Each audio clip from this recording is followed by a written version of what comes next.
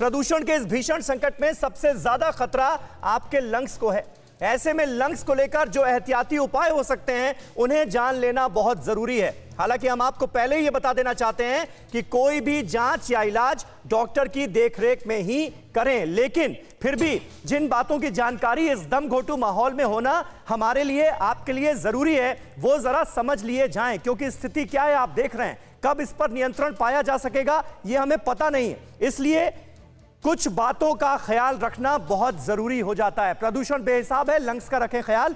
थोड़ी भी परेशानी लगे तो तुरंत लंग्स का टेस्ट कराएँ।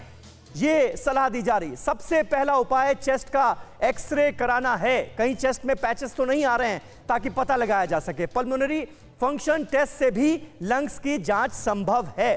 तो हमको, आपको भी एहतियात बरतने की ज़रूरत है। पल्मोनरी टेस्ट से पता चलता है कि लंग्स कितना काम कर रहा है। इसलिए अगर आपको परेशानी हो रही है तो डॉक्टर की सलाह लेकर यह टेस्ट भी करा सकते हैं। इससे शुरुआत में ही लंग्स की बीमारी का पता चल जाता है, क्योंकि देखिए डॉक्टर्स एक्सपर्ट्स लगातार ये कह रहे हैं कि जितना प्रदूषण हो चुका है, हमारे आपके लंग्स काले पड़ते जा रहे हैं। अगर हम दिल्ली एनसीआर में सांस ले रहे हैं तो पहले से लंग्स की तकलीफ़ है तो डिफ्यूजन स्टडी करानी चाहिए।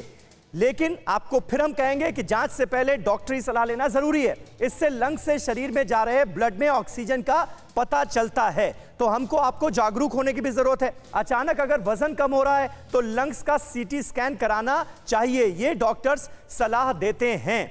कुल मिलाकर जो स्थिति है, उसमें इन बातों का ख्याल रखना भी बहुत ज़रूरी हो गया है और बहुत ज़रूरी हो तभी आप घर से बाहर निकलें, ये भी डॉक्टर सलाह दे रहे हैं। अड़ी सोमवार से शुक्रवार शाम छह बजे सिर्फ़ टीवी नाइन भारतवर्ष पर।